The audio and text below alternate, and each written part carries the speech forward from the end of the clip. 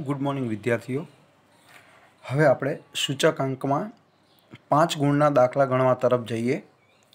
તો એમાં લાસ્પેયર પાશે અને ફિશર આ ત્રણેયના સૂચકાંક ગણવાના હોય. હવે એ ગણવા માટે પહેલાં તમને કહું, રકમ શું આપી હોય? તો વસ્તુ આપી હોય.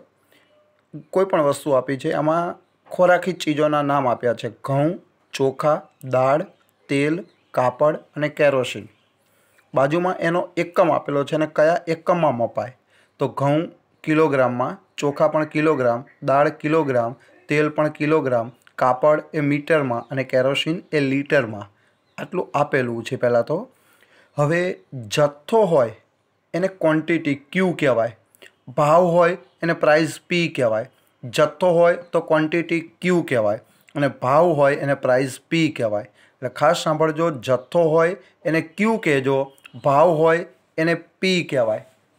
જથ્થો હોય એ ક્યુ ભાવ હોય તો પી જથ્થો હોય એ ક્યુ અને ભાવ હોય એ પી પણ હવે આધાર વર્ષ તો એને જીરો સંજ્ઞા આપજો, અને ચાલુ વર્ષ એને એક સંજ્ઞા આપજો. તો પહેલું આપ્યું છે આધાર વર્ષનો જથ્થો એટલે ક્યુ જીરો. પછી આધાર વર્ષનો ભાવ એટલે પી જીરો. ચાલુ વર્ષનો જથ્થો એટલે ક્યુ વન અને ચાલુ વર્ષનો ભાવ એટલે પી વન. અનુક્રમે આપેલા છે વીસ, દસ દસ, છ, પંદર અને અઢાર. પંદર, વીસ, છવ્વીસ પોઈન્ટ પાંચ, ચોવીસ પોઈન્ટ આઠ, એકવીસ પોઈન્ટ પચીસ અને એકવીસ. ચાલુ વર્ષનો જથ્થો ત્રીસ, પંદર પંદર, આઠ, પચીસ અને ત્રીસ. પી વન, ચાલુ વર્ષનો ભાવ કહેવાય. અઢાર, એકત્રીસ પોઈન્ટ પચીસ, ઓગણત્રીસ પોઈન્ટ પાંચ, ત્રીસ, પચીસ અને અઠ્યાવીસ પોઈન્ટ આઠ.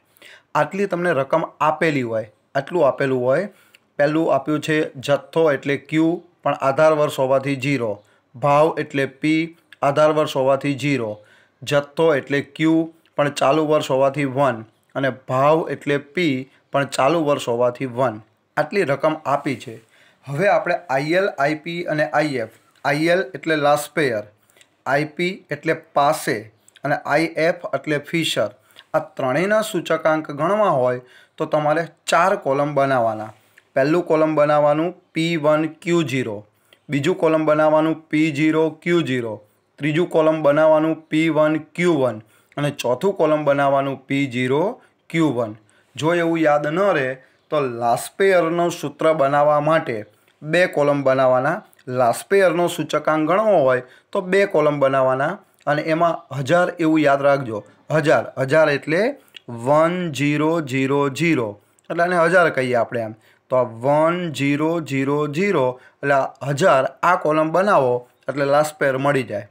અને પાસેનું સૂત્રમાં જવું હોય, પાસેનો સૂચકાંક ગણવો હોય, તો બીજા બે કોલમ બનાવવાના. અને એના માટે યાદ રાખવાનું અગિયારસો એક. લાસ્પેયર માટે હજાર. હજાર એટલે વન જીરો જીરો જીરો. અને પાસે માટે અગિયારસો એક. અગિયારસો એટલે વન વન જીરો વન. યાદ રહી જાય? એટલે બે ચાર કોલમ બનાવવાના. પહેલું હજાર. હજાર એટલે વન જીરો જીરો જીરો અને બીજું અગિયારસો એક એટલે વન વન જીરો વન. આ પહેલાં બે કોલમથી લાસ્પેર મળે. બીજા બે કોલમથી પાસેનો સૂચકાંક મળી જાય. તો હવે તો ગુણાકાર જ કરવાના. એટલે પહેલું column P one Q zero તો આ પી વન અને આ ક્યુ જીરો બંનેનો ગુણાકાર જોતા જઈએ. તો વીસ ગુણ્યા અઢાર એટલે થાય ત્રણસો સાઠ પછી દસ ગુણ્યા ત્રણ, એકત્રીસ પોઈન્ટ પચીસ, એટલે ત્રણસો બાર પોઈન્ટ પાંચ. દસ ગુણ્યા ઓગણત્રીસ પોઈન્ટ પાંચ, તો બસો પંચાણું. છ ગુણ્યા ત્રીસ, એટલે એકસો ને એંશી. પંદર ગુણ્યા પચીસ, એટલે ત્રણસો પંચોતેર. અને અઢાર ગુણ્યા અઠ્યાવીસ પોઈન્ટ આઠ, તો પાંચસો અઢાર પોઈન્ટ ચાર. અને એનો સરવાળો થાય બે હજાર ચાલીસ પોઈન્ટ નવ. બીજું કોલમ બનાવવાનું પી જીરો ક્યુ જીરો તો આ પી જીરો અને આ ક્યુ જીરો બંનેનો ગુણાકાર. તો બંનેનો ગુણાકાર તો વીસ ગુણ્યા પંદર એટલે ત્રણસો. દસ ગુણ્યા વીસ, બસો. દસ ગુણ્યા છવ્વીસ પોઈન્ટ પાંચ એટલે બસો પાસઠ. છ ગુણ્યા ચોવીસ પોઈન્ટ આઠ, એકસો અડતાલીસ પોઈન્ટ આઠ. પંદર ગુણ્યા એકવીસ પોઈન્ટ પચીસ એટલે ત્રણસો અઢાર પોઈન્ટ પંચોતેર. અને અઢાર ગુણ્યા એકવીસ એટલે ત્રણસો ઇઠ્યોતેર. અને એનો સરવાળો થાય સોળસો દસ પોઈન્ટ પંચાવન. પછીનું કોલમ બનાવવાનું પી વન ક્યુ વન. તો આ પી વન અને ક્યુ વન આ બંનેનો ગુણાકાર. ત્રીસ ગુણ્યા અઢાર, પાંચસો ચાલીસ. પંદર ગુણ્યા એકત્રીસ પોઈન્ટ પાંચ, એકત્રીસ પોઈન્ટ પચીસ, એટલે ચારસો અડસઠ પોઈન્ટ પંચોતેર. પંદર ગુણ્યા ઓગણત્રીસ પોઈન્ટ પાંચ, એટલે ચારસો બેતાલીસ પોઈન્ટ પાંચ. આઠ ગુણ્યા ત્રીસ, બસો ચાલીસ. પચીસ ગુણ્યા પચીસ, છસો પચીસ. ત્રીસ ગુણ્યા અઠ્યાવીસ પોઈન્ટ આઠ, એટલે છ આઠસો ને ચોસઠ. એનો સરવાળો થાય એકત્રીસો એંસી પોઈન્ટ પચીસ.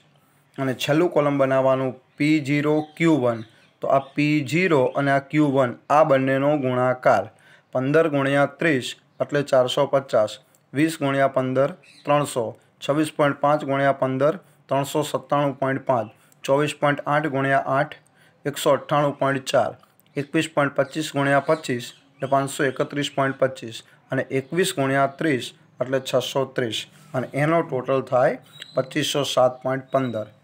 આટલું કર્યા પછી હવે લાસ્પેયરનું સૂત્ર લાસ્પેર એટલે આઈ એલ એનું સૂત્ર sigma P one Q zero upon sigma P zero Q zero ગુણ્યા સો.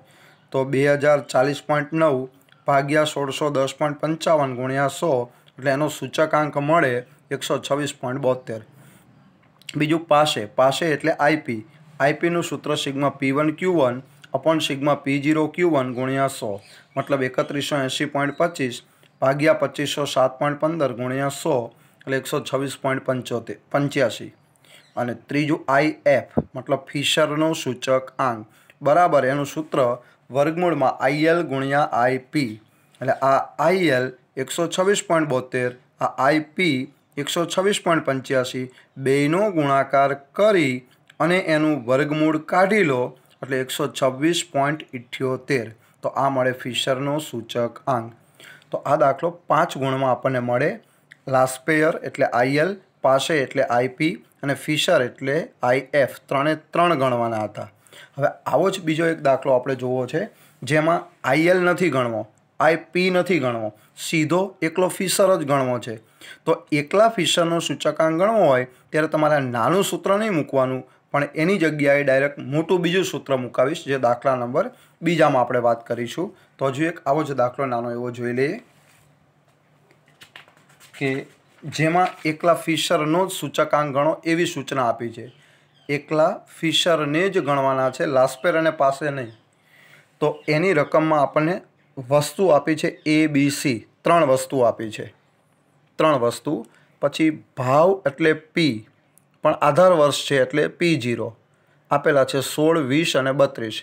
પછી જથ્થો એટલે ક્યુ પણ આધાર વર્ષ છે માટે જીરો દસ, નવ અને સોળ. પછી ભાવ એટલે પી પણ ચાલુ વર્ષ એટલે વન તો પી વન વીસ, ચોવીસ અને ચાલીસ. અને જથ્થો એટલે ક્યુ પણ ચાલુ વર્ષ એટલે વન અગિયાર, નવ અને સત્તર. ખાસ સંજ્ઞા લખવામાં ભૂલ ના થાય. ભાવ હોય ત્યાં પી જથ્થો હોય અહીંયા ક્યુ ભાવ હોય તો પી જથ્થો હોય તો ક્યુ આધાર વર્ષ માટે જીરો બોલાય, ચાલુ વર્ષ માટે વન અને જે બે વર્ષ હોય એમાં ભૂતકાળનું વર્ષ હોય, એને આધાર વર્ષ કહેવાય. હંમેશા કોઈ પણ બે વર્ષ એમાં ભૂતકાળના વર્ષને આધાર કહેવાય, બાકીનું જે પ્રવર્તમાન હોય એને ચાલુ વર્ષ કહેવાય. તો હવે ચાર કોલમ બનાવી દેવાના, ન ખબર પડે તો હજાર એટલે વન જીરો જીરો જીરો અને બીજું અગિયારસો એક એટલે વન વન જીરો વન. તો ચાર કોલમ બનાવી દે, પી વન ક્યુ જીરો. તો પી વન અને ક્યુ જીરો આ બેનો ગુણાકાર. દસ બે વીસ બસો, નવ ગુણ્યા ચોવીસ બસો સોળ સોળ ગુણ્યા ચાલીસ, છસો ચાલીસ. બીજું પી જીરો ક્યુ જીરો તો પી જીરો અને ક્યુ જીરો બેનો ગુણાકાર. સોળ ગુણ્યા દસ એટલે એકસો સાઠ વીસ ગુણ્યા નવ એકસો એંશી. બત્રીસ ગુણ્યા સોળ પાંચસો બાર. પછીનું column P one Q one આ બેનો ગુણાકાર અગિયાર ગુણ્યા વીસ બસો વીસ. ચોવીસ ગુણ્યા નવ બસો સોળ. ચાલીસ ગુણ્યા સત્તર છસો એંસી પછી પી જીરો ક્યુ વન તો આ પી જીરો અને આ ક્યુ વન આ બેનો ગુણાકાર. સોળ ગુણ્યા અગિયાર એકસો છોતેર. વીસ ગુણ્યા નવ એકસો એંસી અને બત્રીસ ગુણ્યા સત્તર, પાંચસો ચુમ્માલીસ અને જો એ ચારેયના ટોટલ મળી ગયા હોય, તો હવે સાંભળજો, એકલા ફિશરને જ ગણવા હોય, તો ડાયરેક્ટ મોટું સૂત્ર મૂકી દો કે વર્ગમૂળમાં. Sigma P one Q zero upon sigma P zero Q zero ગુણ્યા sigma P one Q one છેદમાં sigma P zero Q one ગુણ્યા સો.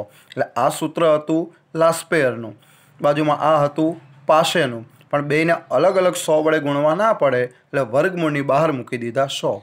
એટલે આ પેલા અલગ અલગ ત્રણે ત્રણ ન ગણવા પડે એટલે ડાયરેક્ટ મોટું સૂત્ર વાપર્યું. તો કિંમત મૂકી દઈએ એક હજાર છપ્પન છેદમાં પાંચસો આઠસો બાવન ગુણ્યા અગિયારસો સોળ છેદમાં નવસો ગુણ્યા વર્ગમૂળની બહાર સો.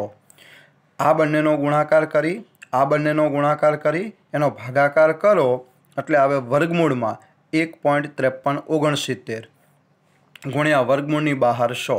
અને હવે આનું વર્ગમૂળ કાઢી અને પછી તરત જ ગુણ્યા સો કરી દો. તો આ રકમનું વર્ગમૂળ કાઢી ગુણ્યા સો કરો, એટલે મળે એકસો ત્રેવીસ પોઈન્ટ સત્તાણું. તો આ રીતે એકલા ફિશરને જ ગણવો હોય ત્યારે આ ડાયરેક્ટ મોટું સૂત્ર મૂકજો. આટલું આજે આપણે રહેવા દઈએ.